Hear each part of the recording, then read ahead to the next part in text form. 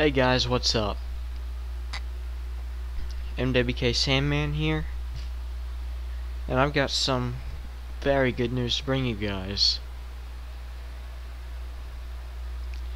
First of all, okay, this part is gonna get a little creepy.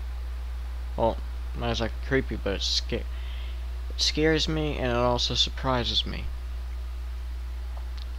Okay, so apparently in Bramwell's daydreams, Enterprise, my starship, Starship Enterprise, takes minor damage after after a major skirmish outside a solar system. Uh, 15 light, 15 to 20 light years from Earth. Because Enterprise was attempting to defend the solar system by itself. But then, but, well, we weren't, we weren't alone.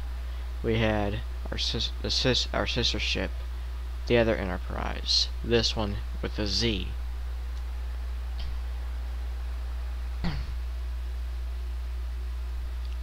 And guess who was in command of it? Bramwell. Well, let's just say Enterprise with the Z didn't last much longer.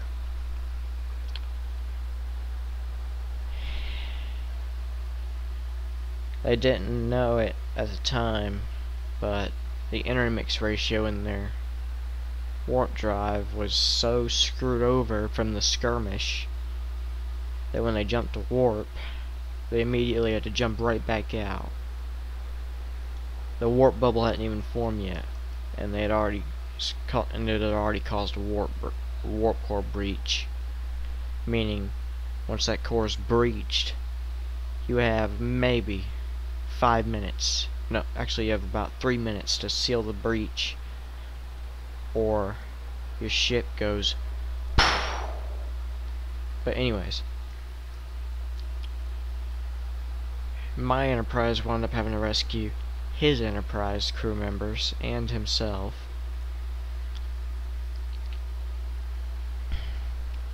My Enterprise sustained minor damage during the skirmish, but when we were on en route back to Earth, apparently my Enterprise sustained extensive damage upon re-entry into Earth's atmosphere despite having atmospheric shields. Basically, emitter, shield emitters that emit Earth's atmosphere around the hull of Enterprise.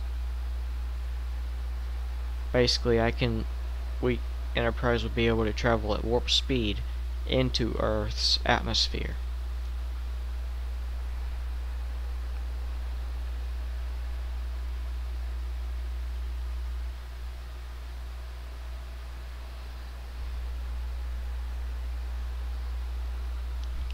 But anyways, once my Enterprise re-entered Earth's atmosphere, apparently, um,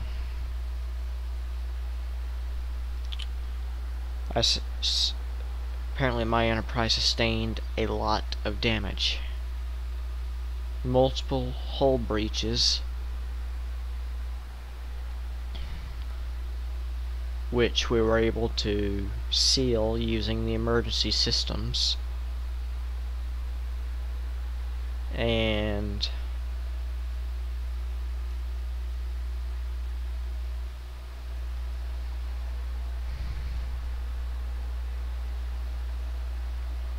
well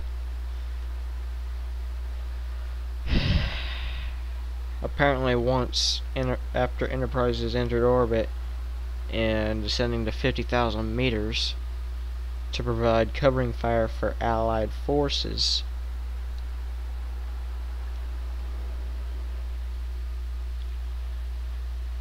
Um,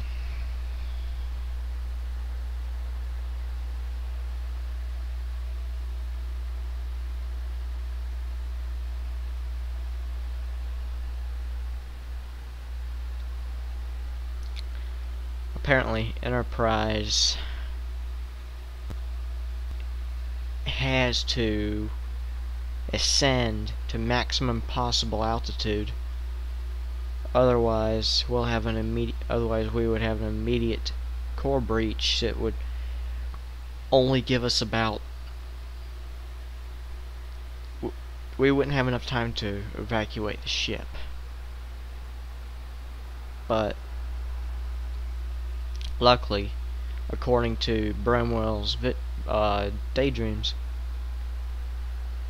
my chief engineer managed to spot the the issue. He spotted it in time, but not far enough, but not but not far enough ahead, so we could put us so we could seal the breach. Unfortunately, I had to get in his in Bramwell's daydreams. I had to make the ultimate sacrifice. Well, in my opinion, the ultimate sacrifice and scuttle Enterprise because the technology aboard the starship, my starship Enterprise, is so advanced. Our enemies would do anything to get their hands on it.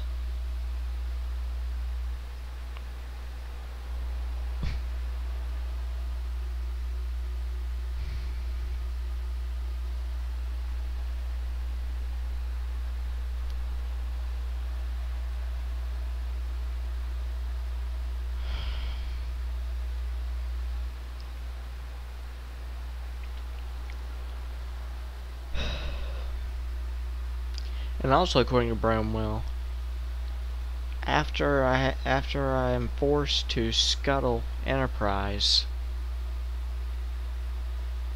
I am so out of it because I had to destroy the one thing that I spent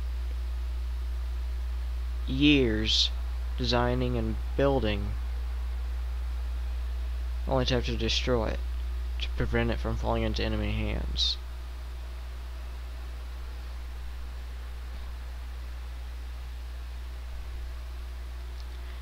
And I was so upset that I was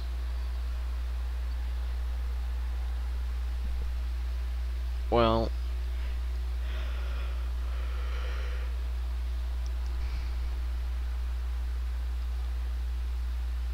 I'll put it this way, Bramwell had to make all the decisions for me. Because that's how bad it was for me. But according to Bramwell, and thank God for this, Alea and Bramwell's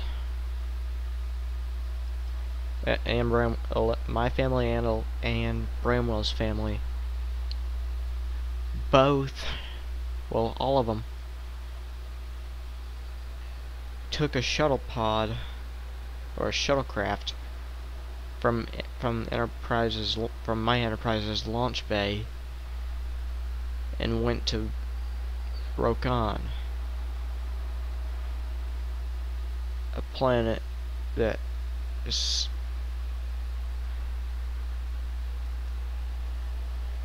It's supposedly inhabited by our by our allies. Well, while Bramwell's family and my family are are on Rokan,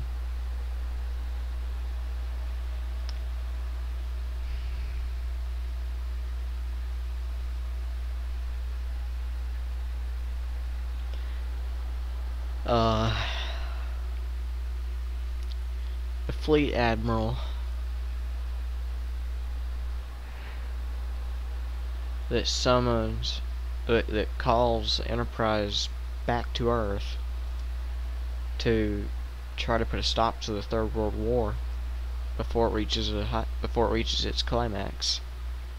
Well, um, apparently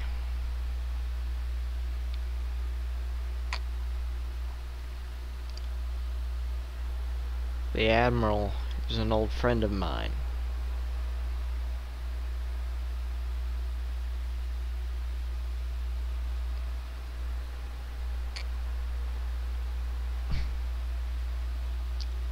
Uh, the Admiral makes a proposition that I must accept if we want if I wanted to rebuild the Starship Enterprise and command it once again. He the Admiral gave the pad to Bramwell or the tablet to Bramwell and about a week later when I was much calmer and able to talk and have a conversation Bramwell explained everything to me. And this is in his daydreams of course. And apparently I got I've been promo I had been promoted to admiral. And plans and an, as an update to the information on the tablet the adm the fleet admiral calls my quarters and tells me that there that plans for a new Starship Enterprise are being drawn up.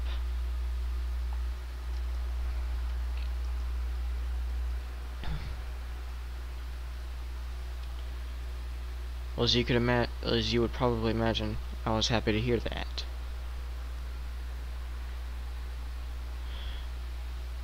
Because destroying the one the one ship I never wanted to have to destroy ruined me mentally.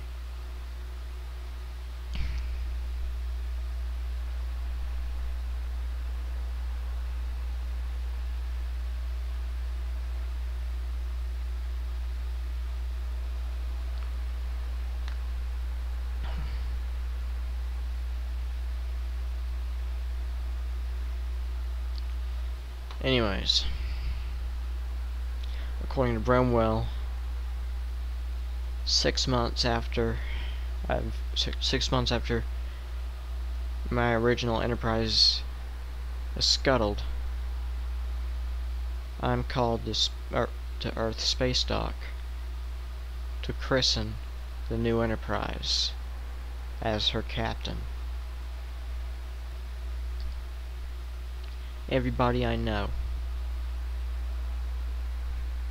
was there with me.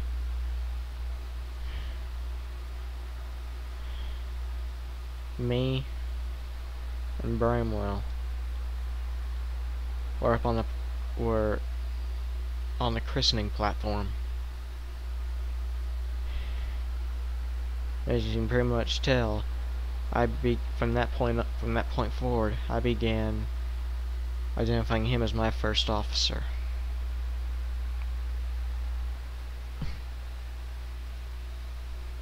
although he although he is a captain and I'm an admiral. Anyways,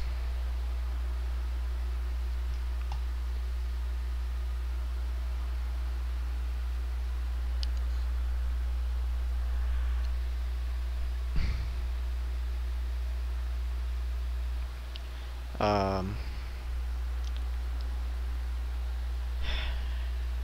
once we've christened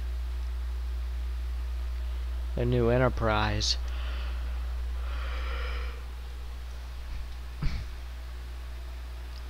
We get uh, well more specifically I get a communique from the Rokan system. Apparently the Russians somehow managed to find the location of Rokan.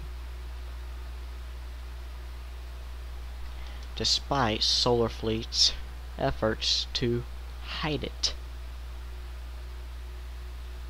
Well, as you can as you would expect, I got immediate clearance from the fleet admiral, and in less than 10 minutes, actually less than 5 minutes, Enterprise had cleared space dock and, and had already made the jump to maximum warp to get to the Rokan system. And what do we find there? The Russians and an unknown enemy fleet. Two, no, two fleets side by side working together. We don't know who these enemies are, but we know if they're, that, that, that since they're working with since they're working with the Russians, it can't be good. So, what does Enterprise do?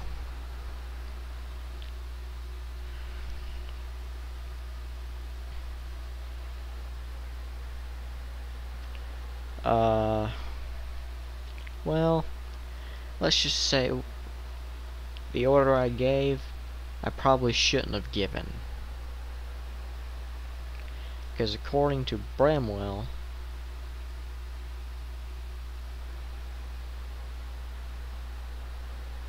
um, Enterprise annihilates every single enemy starship, alien and Russian. And Enterprise barely has a scratch on her hull. Her shields have minor damage.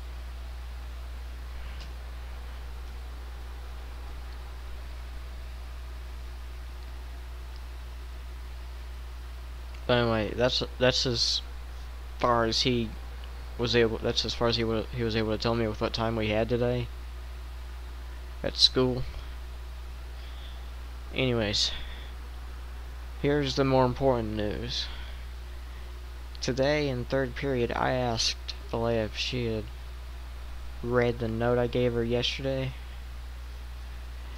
And her response was this exactly. She smiled and nodded yes. I mean, literally, she was like, That's literally what she did with a smile.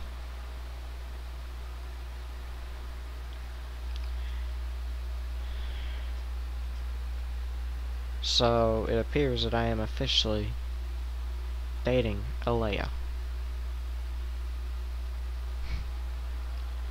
Can't tell you how happy I can't tell you how happy I am between what I've the information I've learned from Bramwell and my relationship with Alea. I cannot tell you guys how happy I am.